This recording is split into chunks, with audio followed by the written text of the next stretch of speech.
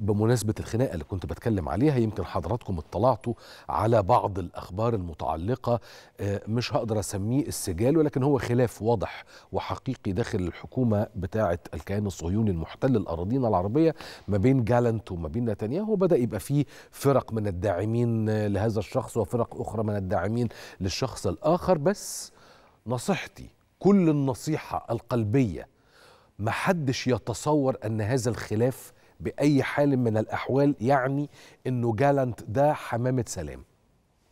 على الإطلاق على الإطلاق لأنه الطريقة دي من التفكير بالمناسبة رجعتنا لورا كتير جدا جدا جدا. لأن أنا عايز أفكرك بما أن إحنا النهاردة 15 خمسة 76 سنة على نكبتنا الكبرى وضياع فلسطين. اللي أسس الدولة دي هم من يطلق عليهم أحيانا حمائم الكيان حاليا. اللي أسس الدولة دي هو حزب العمل اللي هم النهاردة معارضة اللي بيتخانقوا مع بنيامين نتنياهو.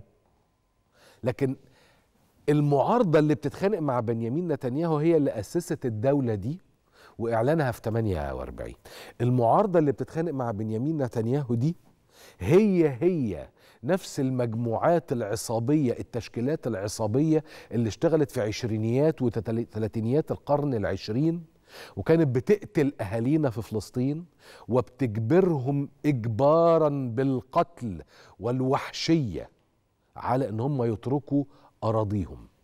الناس دي هي اللي دخلت الجليل والناصرة يذبحوا الرجالة.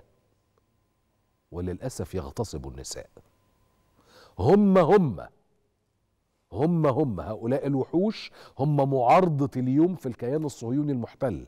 دول اللي أسسوا الهجناء هم اللي أسسوا شتيرن هم اللي أسسوا أنسل إلى آخره. اوعى تتصور على الإطلاق أن هذا الكيان به حمائم.